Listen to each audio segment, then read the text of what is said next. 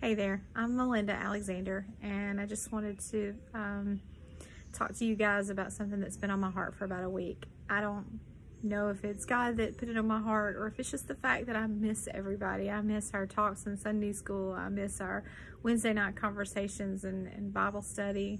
I miss our fellowship and, and God's Word. Uh, as Chuck brings it every Sunday morning, I just miss all of it. And uh, and maybe that's why it's on my heart, just to kind of talk to you guys. That maybe I feel helps me feel connected.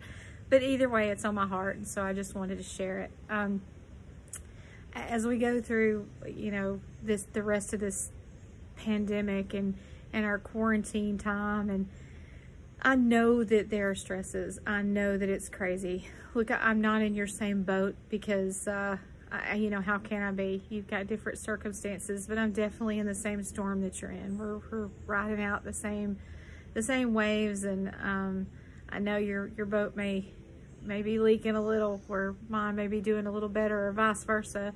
But um, we're struggling in this together, and and we need a little encouragement sometimes. And this is this is what I want to bring to you today. Um, this is going to start off a little bleak, but it gets better, I promise. I need to give you a little backstory to what I want to tell you. Um, it's um, around 600 BC in uh, Judea. Um, it's the time of Ezekiel, the prophet. The Israelites have, uh, they're having a tough time. See, there, there's a couple major forces that are kind of battling out for, for domination and the Babylonians are one. They've just defeated Egypt and, and they're now kind of the big dog. Their, their territory is now um, Syria and, and Palestine, which is where uh, Judea is. And the Israelites, they're, they're struggling for power. They, they don't want to be controlled and ruled. So, of course, they rebel a little bit and that rebellion doesn't, doesn't uh, go so well. What it leads to is Jerusalem being destroyed and the temple being destroyed, and then they're taken to uh, Babylon and put in exile for 40 years. Well, Ezekiel was one of those. God came to him when he was 13 and and gave him the word to to tell everybody to tell the Israelites, look, you you have to change. There's there are struggles coming and and you know, he gave him the words to to warn them about the trials that were coming, the exile, the hardship with the isolation, and then finally getting to return to their homeland. But they don't listen. But you know, God knows this. They're not going to listen. He tells Ezekiel that they're a sinful nation and they're not going to listen. They've been too wrapped up in in political ambitions and um, you know just um, their their search for wealth and and fame and fortune, like we all get into and they've forgotten about the uh, the more important things. They've forgotten to take care of those who who are maybe weaker and can't take care of themselves. They've forgotten to look out for each other, and so this leads to exile. And Ezekiel preaches his gloom and doom before it happens. He knows what's coming. And while he's there, he's trying to preach to the Israelites what they need to do in order to return to their homeland. And, um, you know, it just seems dark but there is so much light in, in what he says, uh, especially in Ezekiel 37. So let me read that to you. It's it's a passage that most of you know. Um, it's the dry bones, but it gets me every time I read it. Every time I read it, it makes me think of something different and something, you know, just it's just one of those ah passages like it's just God's love is in it and you can just hear it. So I, I'd like to read that for you. It says, The Lord took hold of me, and I was carried away by the Spirit of the Lord to a valley filled with bones. He led me all around among the bones that covered the valley floor. They were scattered everywhere across the ground and were completely dried out. And then he asked me, Son of man, can these bones become living people again? oh, sovereign Lord, I replied, you alone know the answer to that. Um, and then he said to me, Speak a prophetic message to these bones and say, Dry bones, listen to the word of the Lord. This is what the sovereign Lord says. Look, I am going to put breath into you and make you live again. I will put flesh and muscle on you and cover you with skin, and I will put breath into you, and you will come to life. And then you will know that I am the Lord. So I spoke this message just as he told me, and suddenly as I spoke there was a rattling noise all around the valley. The bones of each body became, came together and attached themselves as a complete skeleton. And then as I watched, muscles and flesh formed over the bones, then skin formed over their bodies, and they still had no breath in them. And then he said to me, Speak a prophetic message to the winds, son of man. Speak a prophetic message to say that this is what the sovereign Lord says. Come, O breath from the four winds, breathe into these dead bodies so that they may live again. So I spoke the message that he commanded and breathed, and breath came into their bodies. They all came to life and stood up on their feet, a great army. And then he said to me, Son of man, these bones represent the people of Israel. They are saying, We have become old, dry bones. All hope is gone. Our nation is finished. Therefore prophesy to them and say, this is what the sovereign Lord says, Oh, my people, I will open your graves of exile and cause you to rise again. And then I will bring you back to the land of Israel. This is what happens, oh, my people. You will know that I am the Lord. I will put my spirit in you and you will live again and return home to your own land. And then you will know that I, the Lord, have spoken and I have done what I said. Yes, the Lord has spoken. This is so inspiring to me if you are not a Christian, this should just be amazing to you. Um, I know that before I accepted God into my heart, sometimes I felt lost and just, you know, I, something was missing. And it was the breath of God. He will breathe it into you if you just come to Him and confess your sins.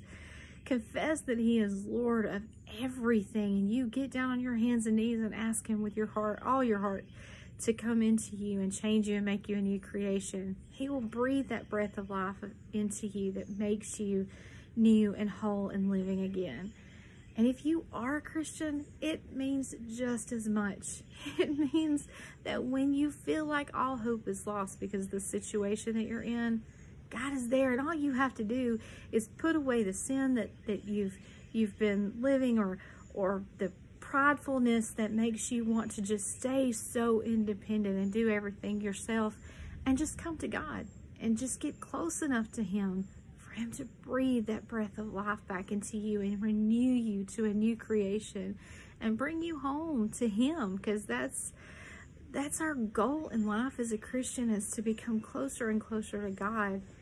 And just think the closer you get to someone the, the more you can feel that that warmth from them and that breath from them, how amazing as you grow in Christ and grow grow in your love for God that you feel that love and that breath, that breath of life that he has for you. So, um, you know, Ezekiel spoke these words, but it, it wasn't just to the Israelites. It's to us as well because um, when Jesus sent his disciples out um, to when he sent them out to preach the word on his behalf. In John 20, 22, it says that he breathed on them. Receive the Holy Spirit is what he said. He breathed on them like God told Ezekiel to uh, tell the, the four winds, to call the four winds to breathe in these dry bones. When we're saved, we get that breath of life. Sometimes we back up too far. And we can't feel that anymore you know, well, some of the darkest times I've ever had is when, um, you know, maybe, maybe I wasn't living life bad. I wasn't being very, uh, sinful, but at the same time, there's sin there. Like, I, am not going to go into my testimony right now, but, or, or, or, tell you about specific things, but there was a time in my life when I harbored some anger towards someone. They, they done me wrong and it, it wasn't my fault, but, those were the darkest times I've ever gone through. And it was not because, um, really wasn't because of what they had done to me. It's because I couldn't forgive them for it. And that lack of forgiveness, that sin, because God tells us we're to forgive, that, that sinfulness of holding on to that separated me from God. And it made it dark and, and scary and just depressing. And so, um, I just want to encourage you, if you are going through just this you know, I, depression is a good word, depression or, you know, from this isolation or you're not working, you're not, you know, you feel like you're struggling or maybe you're just, just lonely, you want to be around people, whatever your situation is, no matter how hard it is, you feel like it's getting to be, just know that you are not alone in this. God is with you. And uh, if you will just get on your hands and knees and just crawl up to him if you're a Christian and, and just allow him to breathe that breath back into you, your situation may not change immediately, but you will have a peace and comfort in that situation that you uh, you didn't know you could have. It's amazing what God does for you. Sorry, we have dogs. Um, God is always there for you. He's always waiting to just wrap you up and, and help you through anything if you will allow him to. And if you're not a Christian, as I said earlier, it's as simple as, as confessing your sins and um, just realizing that God is Lord of everything and asking him into your heart. And if you're not sure that you understand that, call somebody at the church. You know, they'll, they'll be happy to tell you. I'll be happy to talk to you about it. But don't let the opportunity uh, to have that that joy that God brings and that comfort that he brings um, pass you by just because you're too stubborn to do it or you know there's so much going on right now. How can you possibly take time to to stop and do this? How can you not? How can you not take time to ask the God the only God the one and only the creator of this earth the creator of you to help you um, he's amazing. This is his word. It's it's truth. It's not a story.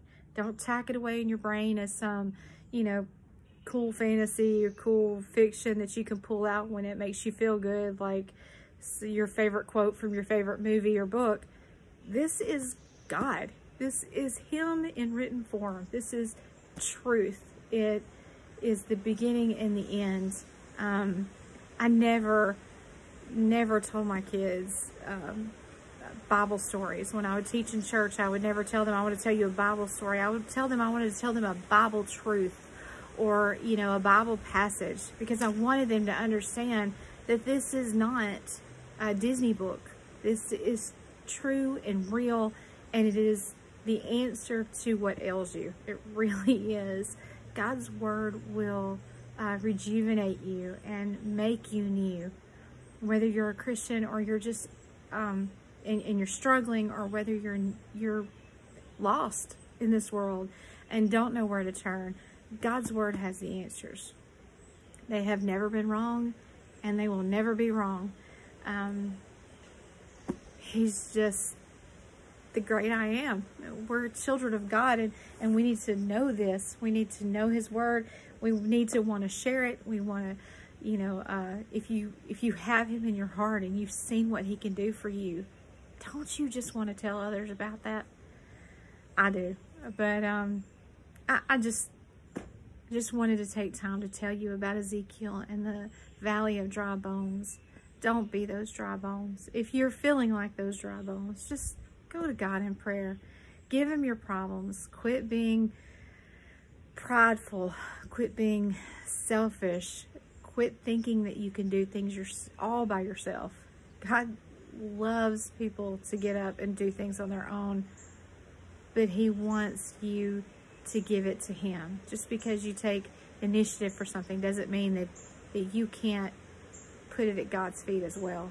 Um, we're not to go in this world alone. We were made to be with him. And really, that's just what I wanted to tell you. I hope it helps somebody. And um, if not, it, it sure helped me. I feel a little bit closer to everybody. I miss you guys, and I can't wait until we can all hang out together at Sunday school and at church. So um, I'm praying for everyone. And I hope you're well. Bye.